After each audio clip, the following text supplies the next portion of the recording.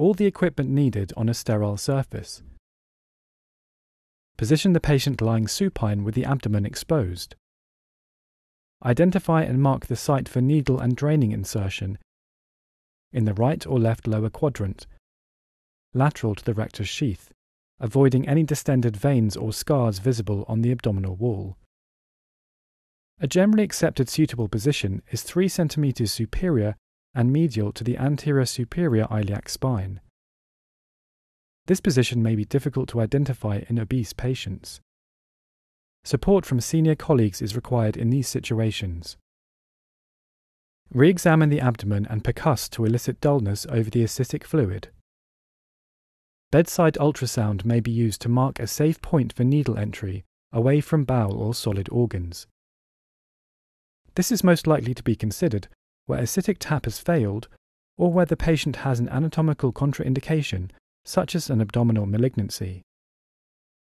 Perform full surgical style hand washing and put on a protective apron or sterile gown, sterile gloves, and consider wearing eye protection throughout. Maintain a sterile equipment field. Prepare the exposed skin with antiseptic solution and place a sterile fenestrated drape over the target area. Infiltrate local anesthetic into the skin and subcutaneous tissue with a 25 gauge needle and into the deeper tissues with a 21 gauge needle. For both ascitic tap and ascitic drain procedures, the Z-track technique may be used. With a non-dominant hand, stretch the skin slightly around the injection site to displace the underlying subcutaneous tissue. When the skin relaxes back into position after the needle has been removed, the ascitic fluid is less likely to backtrack up through the superficial layers because of the so called Z track that is formed when this technique is carried out.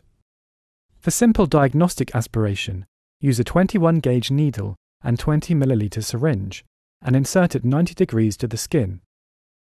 Advance carefully into the abdominal cavity until fluid is freely aspirated.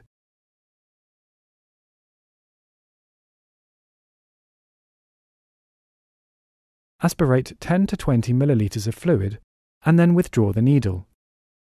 Apply a simple dressing and dispose of all sharps carefully into a sharps bin.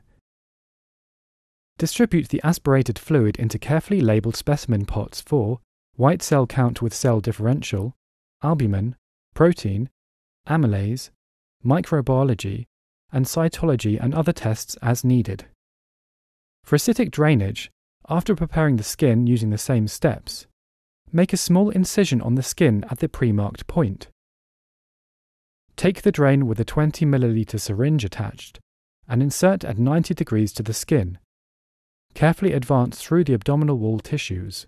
When the drain pierces the parietal peritoneum, there will be a slight give, at which point ascitic fluid should be freely aspirated. If ascites is not freely aspirated, then it is not appropriate to proceed to drainage and the site should be reviewed by a senior clinician. Advance the catheter over the needle and withdraw the needle completely. Attach the collection system and secure the drain in place with an adhesive dressing or a suture. If a suture has been used, apply an adhesive dressing as well and dispose of all sharps carefully into a sharps bin.